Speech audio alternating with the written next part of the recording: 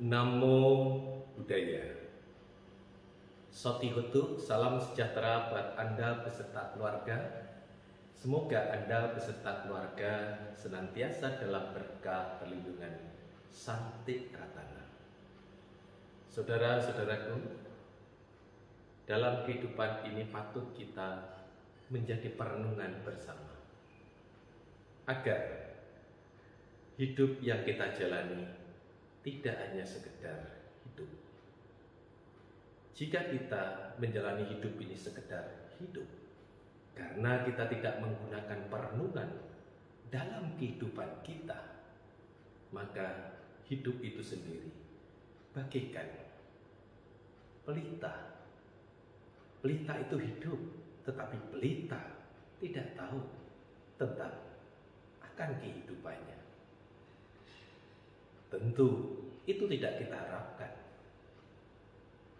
Akan tetapi, jika hidup ini kita gunakan waktu kehidupan kita hanya untuk mencari akan kebutuhan hidup,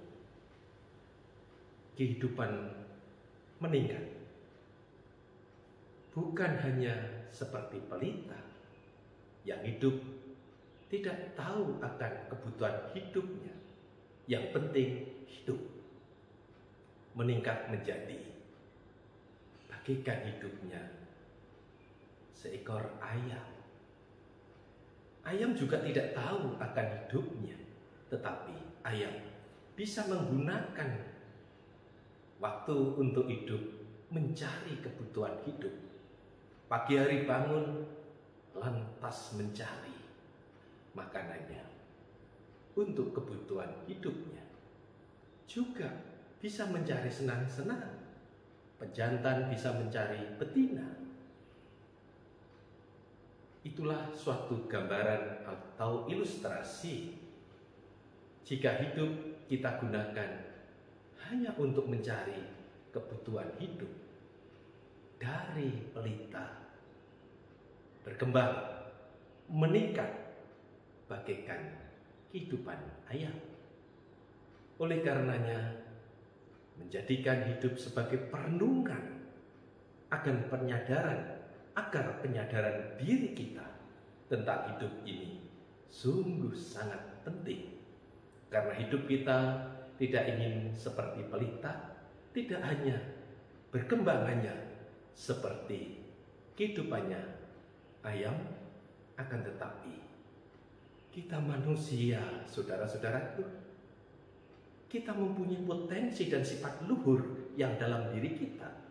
Akan tetapi potensi dan sifat luhur itu tidak akan bisa tumbuh berkembang manakala tidak kita gunakan kehidupan ini untuk merenung sehingga kita memahami apa sejatinya hidup yang perlu kita lakukan dan tujuan hidup mengembangkan sifat luhur yang ada dalam diri kita masing-masing adalah hakikatnya manusia dalam menjalani kehidupannya agar hidupnya bisa tumbuh berkembang dengan nilai-nilai luhur.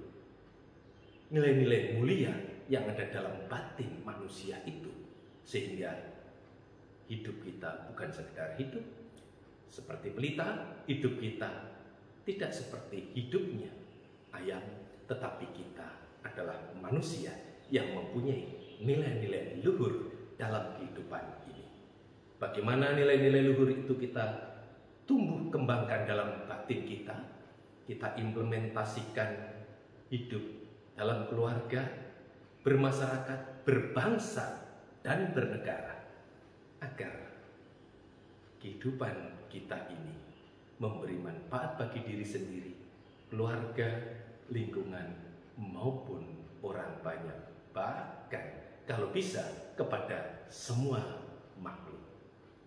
Saudara-saudaraku, semoga renungan tentang nilai hidup ini bisa kita dapatkan, bisa kita implementasikan dalam kehidupan sehari-hari dan bisa kita capai bersama agar kita mempunyai nilai luhur dalam kehidupan kita memang mempunyai sifat luhur.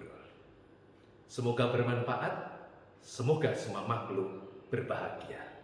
Satu